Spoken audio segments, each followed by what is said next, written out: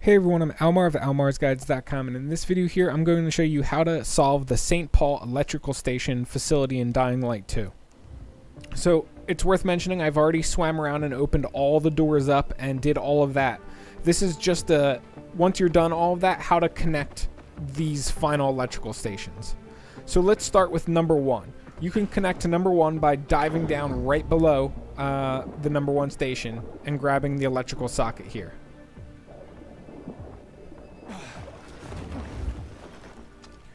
It is worth mentioning if you haven't opened both the A and B doors over there and over here, you'll need to use the number one outlet in order to do that.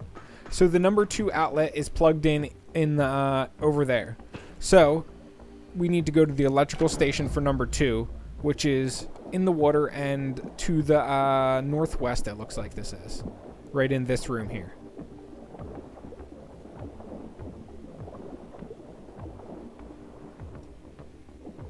You can reach this room uh, if the door is locked by swimming through the underwater hallways that uh, you can find in the A area over here.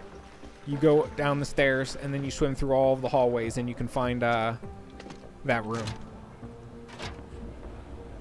And now for the final one, three out of three.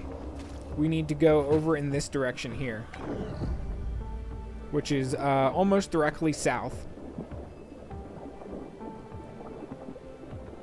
You can reach this area through the hallways that uh, you open up with uh, the B and C electrical terminals.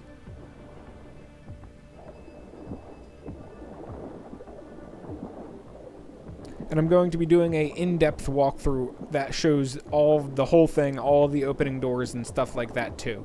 So uh, if you'd rather watch that video, then check for that one on my channel. And number three is in this room here.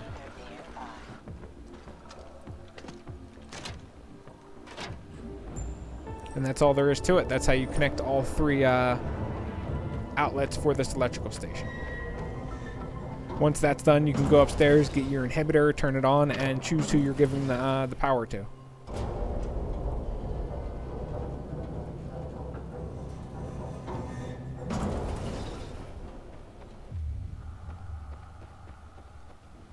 Where's my inhibitor crate? I think it'll put me right next to it after I activate the facility anyway. So I am doing a Peacekeepers playthrough, which means I'm going to give it to them.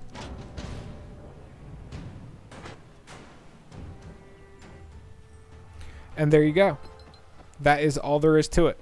The last thing you would need to do is find your inhibitor crate to uh, make sure you get that, which it'll be in the same spot it always was inside the building. So I'll get grab that after this video.